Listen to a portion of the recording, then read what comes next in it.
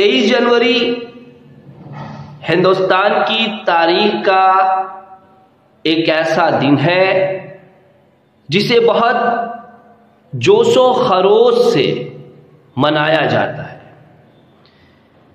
ये तेईस जनवरी हिंदुस्तान की तारीख में एक खास अहमियत का हामिल क्यों है? इसलिए कि आज इस सरजमी पर एक ऐसे शख्स की पैदाइश हुई, जिसने मुल्क को गुलामी की लानत से निजात दिलाने के लिए न सिर्फ़ अपनी पूरी ज़िंदगी सर्फ कर दी, बल्कि जान की बाजी तक लगा दी।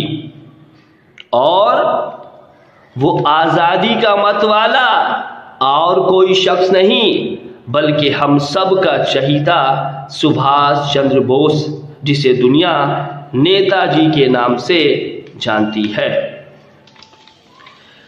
नेताजी का शुमार आज़ादी के उन मतवालों में होता है, जिनके ज़िक्र के बगैर हिंदुस्तान की आज़ादी की कहानी नामुकम्मल होगी। और जिनके खदमात को कौम कभी फरामोश नहीं कर पाएगी। उनकी पैदाइश 23 जनवरी अठारह को उड़ीसा के शहर कटक में हुई। उनके वालदेन जानकीनाथ बोस और प्रभावती दत्त। रविन्द्रनाथ टैगोर ने उनके कारनामों की बिना पर उन्हें नेताजी के लकब से नवाजा। बचपन से ही मुल्क की गुलामी ने उन्हें बेचैन कर रखा था। मुल्क की आज़ादी को अपनी ज़िंदगी का निजबुलैन बनाया। जहानत खुदादात पाई थी। इसलिए इंडियन सिविल सर्विस का इम्तिहान भी पास किया। पर आरामदा ज़िंदगी पर मुल्क की मोहब्बत को तरजीह दी और आज़ादी की जंग में सरगर्म हो गए। कांग्रेस के त्रिपुरा और हरिपुरा कांग्रेस में इंतखाब भी जीते, लेकिन गांधी जी से नजरियाती नातफाकी की बिना पर कांग्रेस से अलग हो गए और फॉरवर्ड ब्लॉक नामी पार्टी की बुनियाद डाली जहन में शिद्दत थी, इसलिए बागियाना रास्ता अपनाया।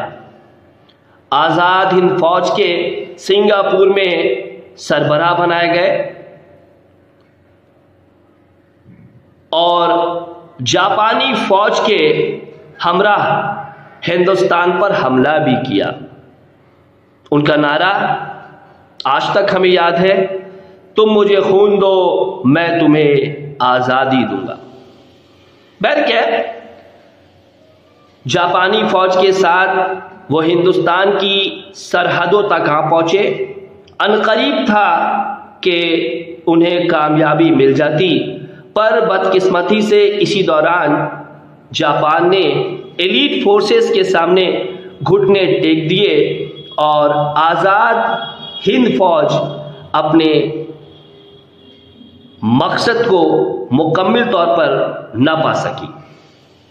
पर उनकी काविशों ने, उनकी कुर्बानियों ने, उनके जद्दोजहद ने, वतन के तई मोहब्बत ने, हिंदुस्तानियों में जोशो वलवला पैदा किया।